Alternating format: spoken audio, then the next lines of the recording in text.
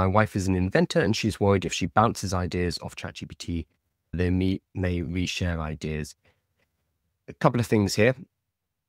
One, you can turn off training on your data. You can now do that on the free plan as well. It used to be one of the main reasons to get a paid plan is because you could turn off data, data sharing for training. But you can now do that on the free plan. It's a little bit hidden away. And so you go into your settings and then I think data controls and privacy, and then improve the model for other people. That's how they phrase it. And you want to toggle that off. So they made it sound like you're being cool by not sharing your data. So you want to not improve the model for other people. So you toggle that off.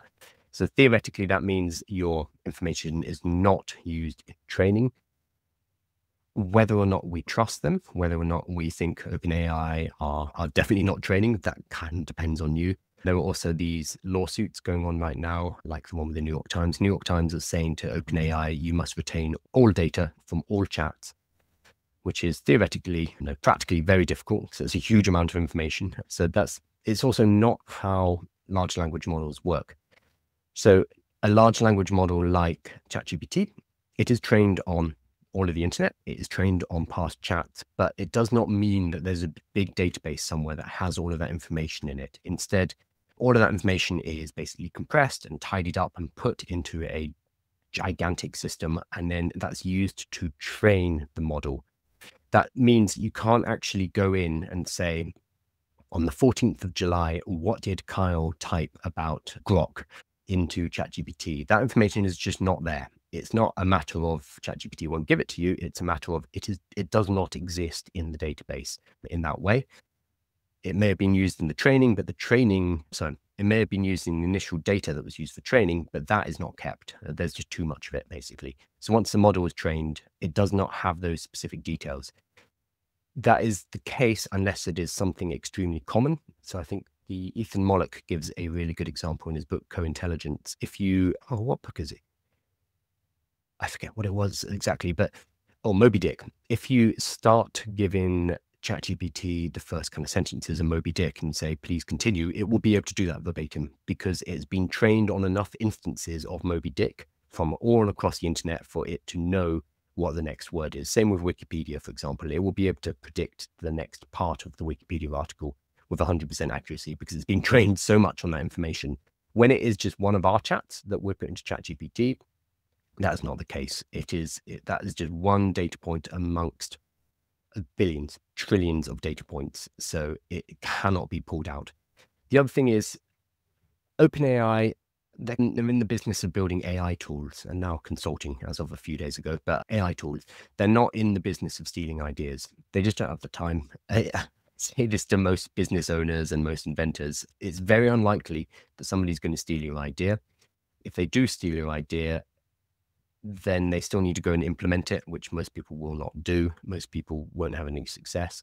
And if you have any kind of prior registration of it, if you have any kind of protection of it, you can then immediately just take them to court anyway. So I would say if she's an inventor, get some protection on it. But putting it into ChatGPT for a number of reasons is not going to be risky. It's just not their business to steal ideas. It would be a terrible, uh, a terrible, a terrible PR disaster for them. Plus, also not very profitable compared to what they are doing.